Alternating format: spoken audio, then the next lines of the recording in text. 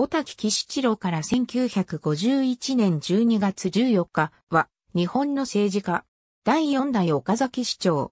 助役時代より、岡崎公園の修築、改修に力を入れたため、公園助役、公園市長と呼ばれた。企業の誘致にも積極的で日清零四、日本零四などを誘致した。ぬかた県八町村で岡崎藩士の子として生まれる。1886年2月、新州三河教校に入学し英語を学ぶ。1887年7月8日、同校を卒業。1891年1月から1892年10月まで、名古屋市の私立精神塾で、漢学、剣道を収める。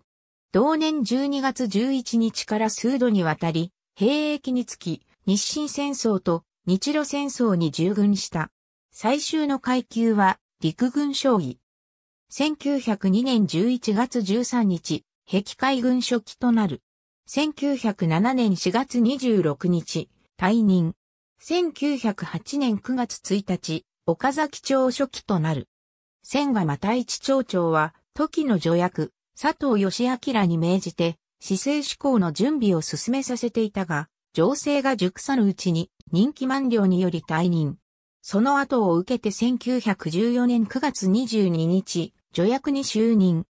小滝は、市政施行に必要な上下水道の敷設、庁舎建設、教育設備の充実などについての副案を練る一方、一足先に姿勢を敷いた静岡県浜松市に赴いて研究調査を行った。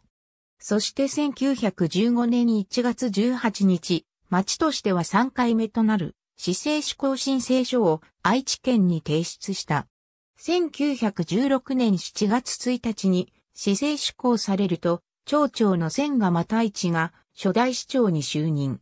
1918年7月12日、千賀が急逝。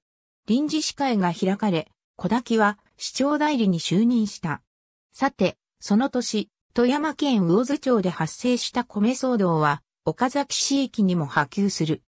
8月13日、ぬかた郡福岡町では、町民が町長宅と米国省を襲撃し、岡崎市では8月14日、岡崎公園に約1000人の群衆が集まり、伝統を破壊した。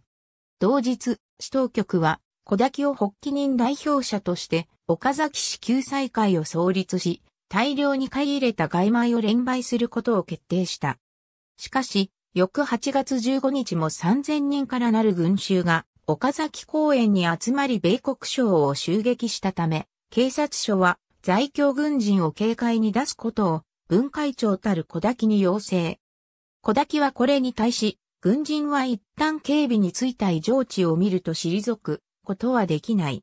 それでは国内の総国を買うるもので、軍人会としてはさような仕事に当たるわけにいかぬと言って一周した。同年11月、本田俊樹が第二代市長にようやく選任される。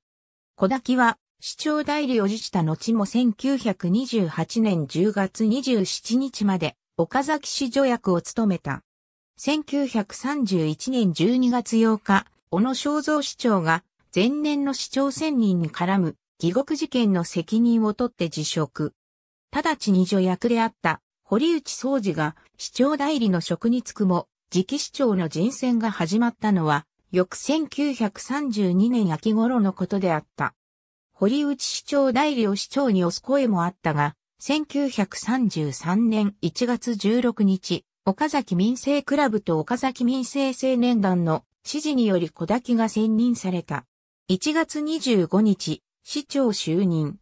1935年11月23日、任期を半分以上残していたが、突然辞任を表明。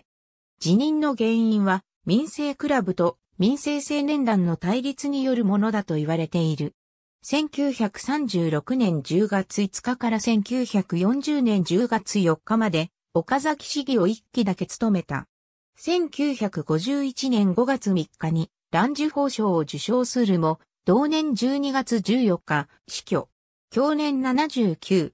1961年7月1日、岡崎市名誉市民に推挙される。1933年7月19日に行われた上水道通水式岡崎公園にある小滝の銅像。ありがとうございます。